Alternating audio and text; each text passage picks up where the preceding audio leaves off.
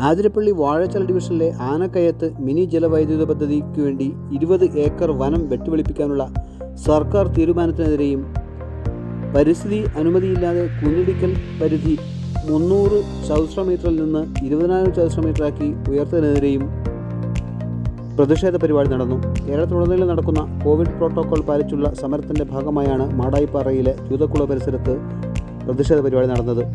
മലബാർ പരിസമിതിയുടെ നേതൃത്വത്തിൽ നടന്ന സമരം പരിസ്ഥിതി മാധ്യമപ്രവർത്തകൻ ഭാസ്കരൻ പിള്ള ഉദ്ഘാടനം ചെയ്തു. K P Chandrankaran Ramendran Patteri A K Govindan എന്നിവർ സംസാരിച്ചു. News wing Pazhayangadi.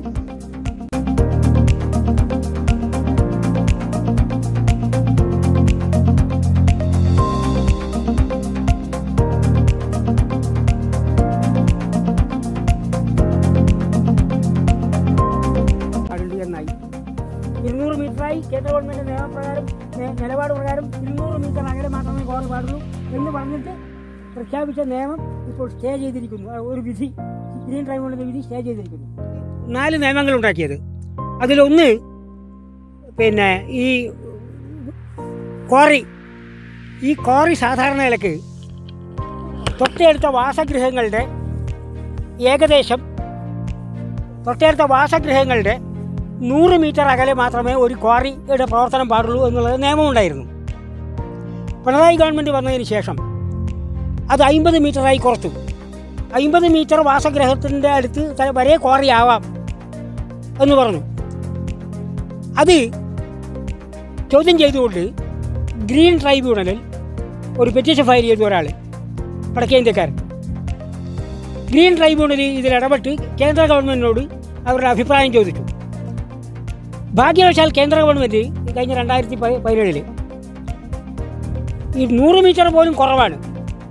അത് കുറഞ്ഞ അമ്പത് മീറ്റർ ആവുന്നതിരിക്കട്ടെ ഏറ്റവും ചുരുങ്ങിയത് ഇരുന്നൂറ് മീറ്റർ തൊട്ടടുത്ത് മാത്രമേ വാസഗൃഹങ്ങളുടെ അടുത്ത് മാത്രമേ കോറി പാടുള്ളൂ എന്ന് പറഞ്ഞിട്ടൊരു ഒരു നിലപാട് കൈക്കൊള്ളുകയും ആ നില കേന്ദ്ര ഗവൺമെന്റ് ആ നിലപാട് ഗ്രീൻ ട്രൈബ്യൂണലിനെ അറിയിക്കുകയും ചെയ്തു.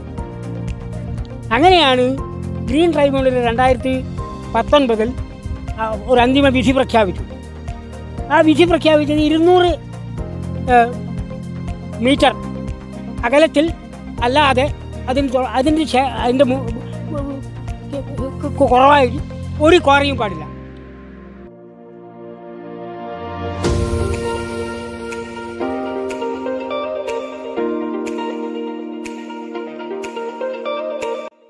പി എമ്മിന്റെ ഇലക്ഷൻ ഫണ്ടിലേക്കും ഒക്കെ അല്ലെങ്കിൽ മറ്റേ ഫണ്ടിലേക്കും ഒക്കെ ഇത് പോകണം അപ്പോൾ ഇറങ്ങിപ്പോകുന്നതിന് തൊട്ട് മുമ്പായിട്ട് ഇതൊക്കെ മുറിച്ച് പോയി കഴിഞ്ഞാൽ വൈദ്യുതി പദ്ധതി പിന്നീട് നമുക്ക് നോക്കാം.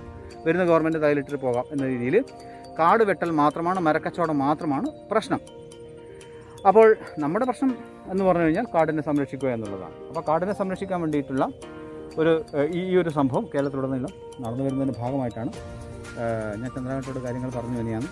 അപ്പം മോഹൻദാസൊക്കെയാണ് ഇത് കോർഡിനേറ്റ് ചെയ്യുന്നത്. എസ് പി രവി മോഹൻദാസ് ആതിരപ്പള്ളി സമരത്തിന്റെ പിന്നിലുണ്ടായിരുന്ന ആൾക്കാർ അപ്പോൾ കേരളത്തിലുടനീളം അത് നടക്കുന്നുണ്ട്. നോക്കൂ ഇരുപതിനായിരം സ്ക്വയർ മീറ്റർ വരെ കുന്ന് ഇടിച്ച് കച്ചവടം നടത്താൻ വേണ്ടിയിട്ട് ലൈസൻസ് വേണ്ട. എൻവയോൺമെന്റ് ക്ലിയറൻസ് വേണ്ട. എന്നുള്ള പുതിയ ഒരു മൈക്രോ സ്മോൾ ഇൻഡസ്ട്രിയൽ ഇൻഫ്രാസ്ട്രക്ചർ രണ്ടായിരത്തി പത്തൊമ്പത് പറഞ്ഞൊരു നിയമം അതിനു വേണ്ടിയിട്ട് പി. ജയരാജ് ഇ. പി. ജയരാജനും അതായത് നമ്മുടെ പിന്നെ വ്യവസായ മന്ത്രിയും ഒക്കെ കൊണ്ടുവന്നു.